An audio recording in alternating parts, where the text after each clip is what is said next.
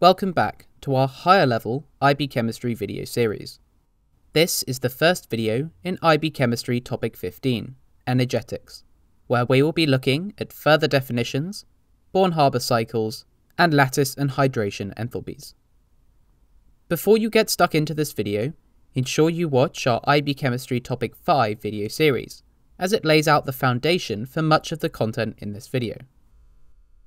As covered in the standard level topic, there are several forms of enthalpy change, including the standard enthalpy changes of reaction, formation, combustion, and neutralization. However, for IB chemistry higher level, you need to know an additional four definitions.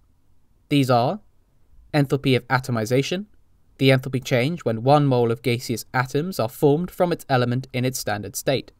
It is endothermic, for example, Li solid goes to Li gaseous, or 0.5 Cl2 gaseous goes to Cl gaseous.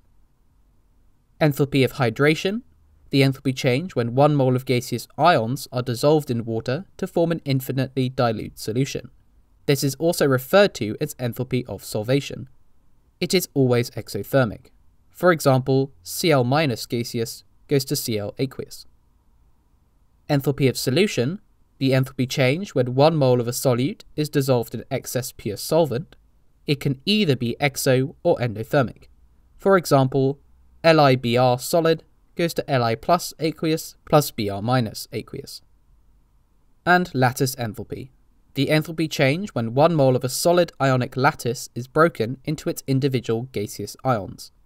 This process is endothermic. For example, BeF2 goes to Be2 plus gaseous plus 2F minus gaseous. Two concepts you have already encountered in topic 3 also come up in this topic with some additional information. Ionization energy and electron affinity. Ionization energy is the enthalpy change when one mole of electrons are removed from one mole of gaseous atoms. It is always an endothermic reaction.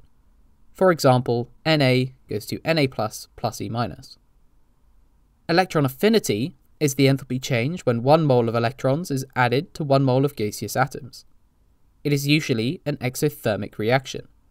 For example, Ca2 plus plus E minus goes to Ca plus. So how do these other types of enthalpy changes relate to a question in the exam?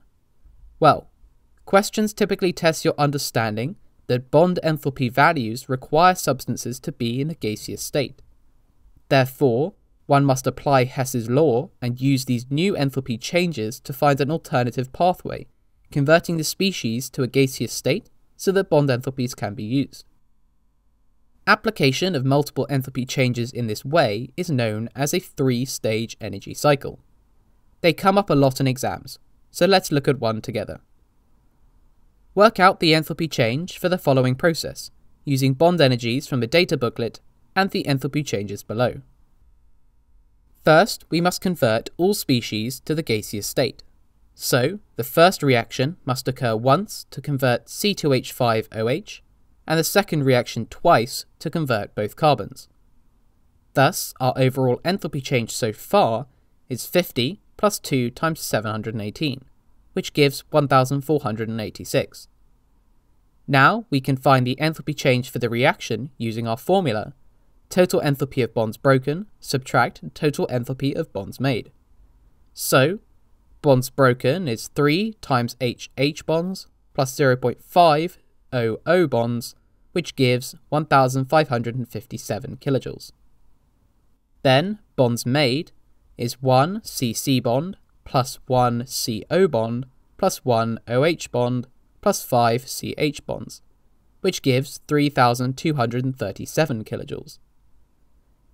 So, the reaction enthalpy change is 1557 subtract 3237, which gives negative 1680 kilojoules.